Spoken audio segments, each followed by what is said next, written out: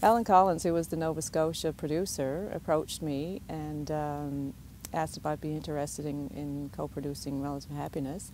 Um, so I immediately read the book and uh, I loved it, and so I said, "Yeah, of course." And um, we got together and, and had discussions about uh, who would be a good director for, for the film, and we, and we discussed that over a period of time.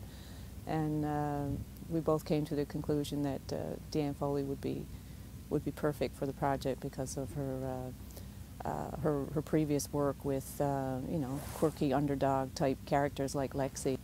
Lexi attracted me to Relative Happiness. Um, she leaps off the page. She's this very strong character, but she's flawed, and she's uh, she has huge insecurities, but she but she gets through them with, with you know with her humor and and uh, uh, with her heart. What's great about working with Deanne is um, is her sense of humor, and uh, she has a very um, dry wit, and um, she brings that to her work. Like she's actually a funny person, and um, her you know her humor comes out in her directing. It's it's really good being on set with a with a director who um, brings that lightness to the set.